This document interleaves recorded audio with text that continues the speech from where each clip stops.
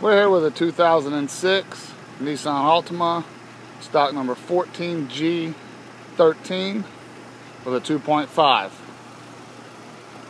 See here on the driver's side, nice clean front fender, front and rear door, all in great shape. Nice factory set of uh, steel Altima wheels with hubcaps.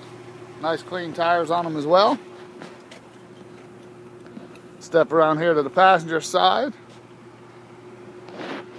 Nice clean passenger side front and rear door. Nice clean tan cloth interior on in this unit. Nice clean hood. Passenger side front fender. Headlight. And we'll get to the 2.5.